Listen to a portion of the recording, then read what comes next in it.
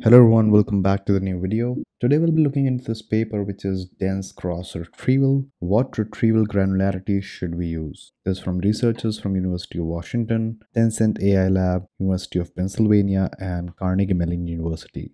I mean, the title is really verbose to understand what this paper is really about, right?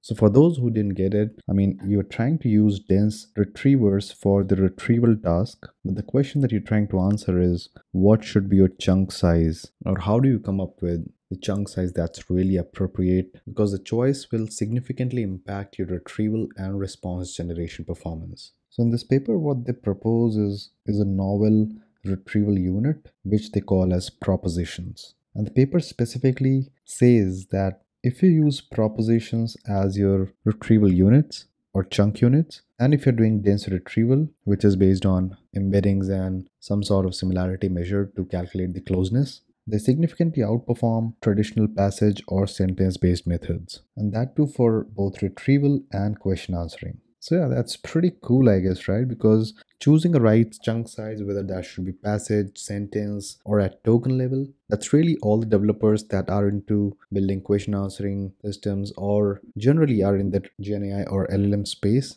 and are working on RAG face issue with. So if propositions as your retrieval unit works well, which is what they're claiming in the results, then I guess that makes our life much, much better. Cool. So let's see to what a proposition exactly is. So they have a example where they're showcasing a question answering system and they're trying to retrieve the relevant chunk that might have the answer for the given question. So passage we understand, right? I mean, you'll have multiple sentences and the job of dense retriever is to get you the most similar passages that might have this answer. So if this is one of the passages that we return, then this is where the answer exactly lies with sentence. This is just one sentence. You need to get to a single sentence that may contain your answer and this is the answer that it holds. Whereas with proposition these are even smaller segments compared to sentences. Those exactly contain what an answer is which is 3.99 so you see right as we go from top to bottom the confusion for the downstream LLM model to get or extract your answer is reducing significantly because now it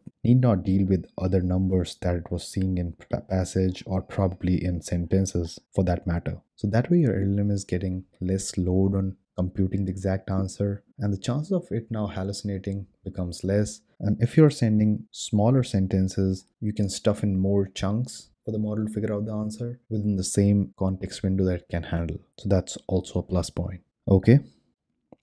So what the C is like for two retrievers for the task of passage retrieval and question answering consistently the proposition units are better compared to using passages or sentences. And this is happening on wikipedia text yeah.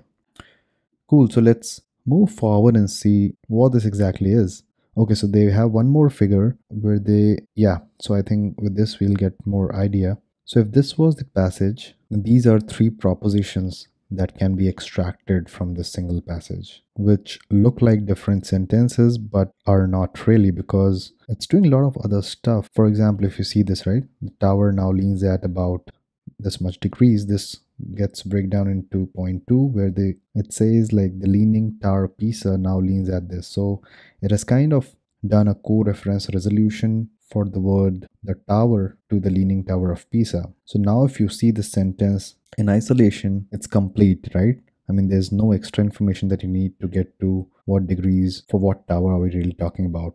But rather, if you would have broken down at punctuation and if this was your chunk, which is the tower now leans at 3.99 degrees, it's really hard for the model to when it sees this in isolation to say, okay, the, the tower that we're talking about here is about the Leaning Tower of Pisa. So those are extra nitty gritties that the propositions are handling and making each of its unit complete by themselves. Okay, let's first delve into what a proposition is. I mean, they should have some definition.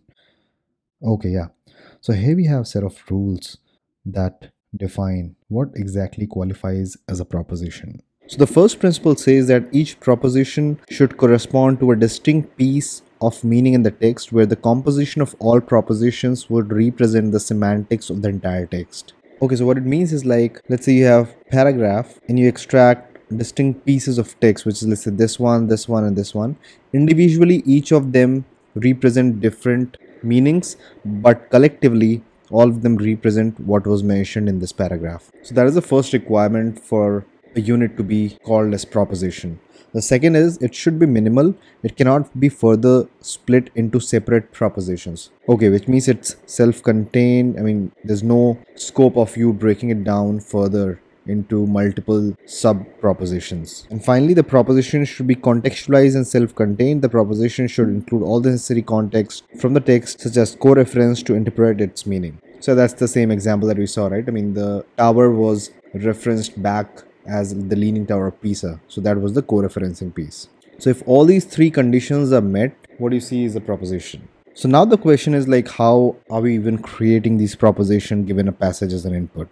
So for that, they train a model in twofold. So they call their system as propositionizer, which takes passage as an input and generate lists of propositions within the passage as an output. So you have like two step distillation process. The first is like you prompt GPT-4 with an instruction containing proposition definition, which is all these three rules that we saw over here, right? And maybe a few shot examples of a passage and what are set of propositions that are possible get extracted from it. And you create your dataset using this process, and they did it for roughly 42,000 passages we get a seed dataset of paragraph to proposition pairs. Then they essentially fine tune a much smaller language model which is FLAN T5 large on this dataset and now this is readily available for you to convert any passage into proposition. Okay.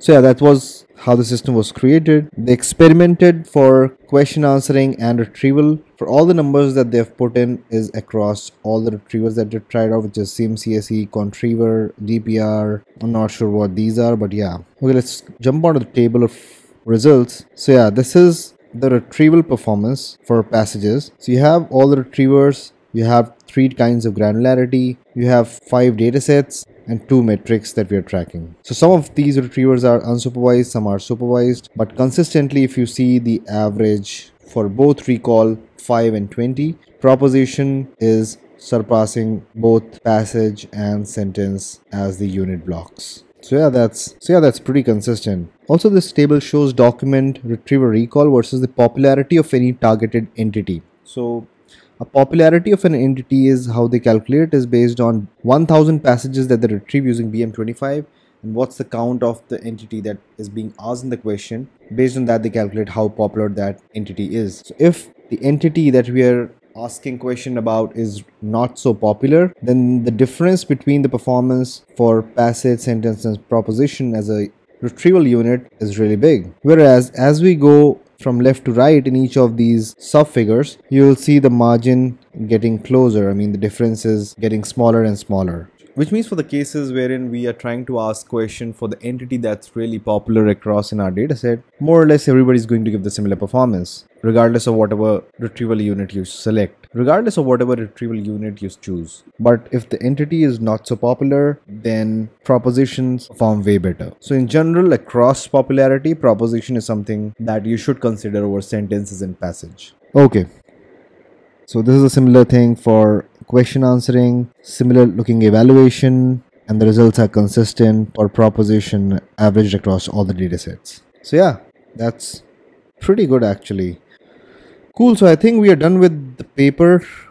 Let me see if they have open source their code and if I can do any implementation and share it across with you guys. That would be awesome, right? Cool. In the meantime, make sure to hit the like button and subscribe to the channel. Also do share it across with the friends to whosoever you think might be interested in this content. I'll meet you in the next one. Bye bye and take care.